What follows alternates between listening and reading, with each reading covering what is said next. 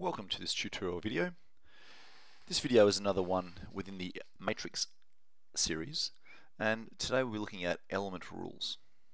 Okay, elements are simply the individual numbers that fit within a matrix. So this represents matrix A, quite often it's a capital with an italics A and the element is the individual lowercase a, 1, 1, 1, 2, 1, 3, etc. Now this is simply a numbering system for row 1, column 1 row 2, column 1, row 3, column 1. Okay, so you can see it represents the row first and the column. Second column here is row 1, column 2, row 2, column 2, row 3, column 3, uh, row 3, column 2 rather.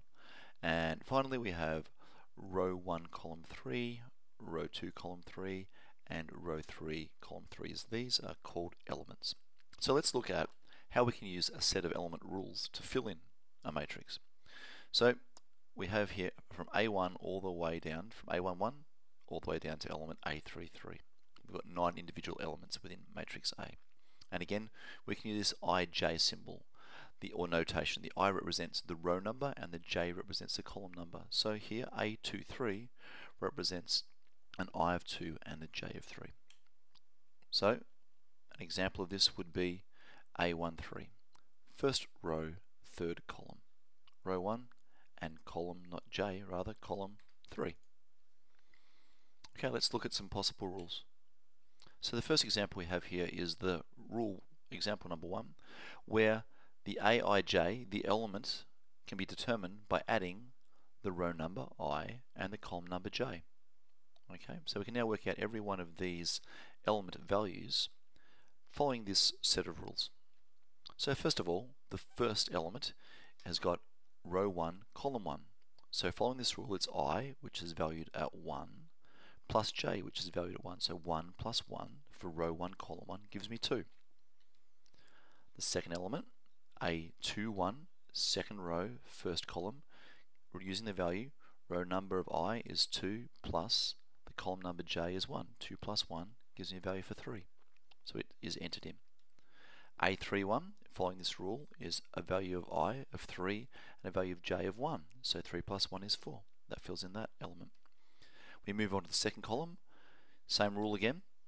We've got a row number of 1, a column number of 2, so 1 plus 2 is 3. Following the rule of each element is i plus j, the row number and the column number. That's row 2, column 2 gives me a sum of 4. Row 3, column 2 gives me a sum of 5. Moving on to our third and final column. Following this rule, we have row 1, column 3, 1 plus 3 gives me 4.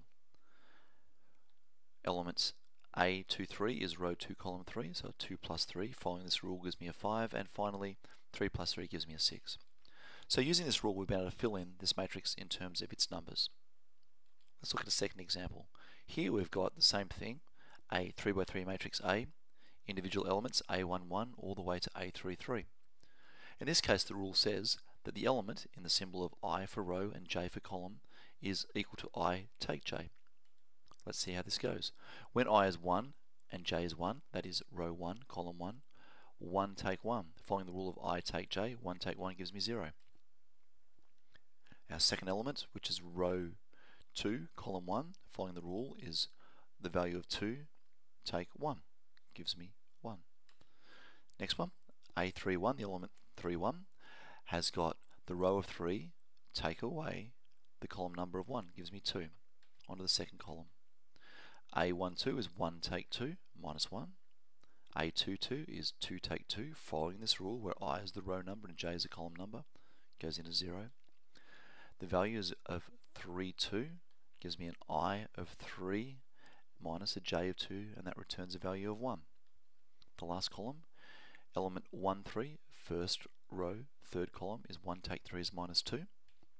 Element 2, 3, second row, take 3 for the third column, gives me a value of negative 1. And 3, 3 is 3 minus 3 gives me 0.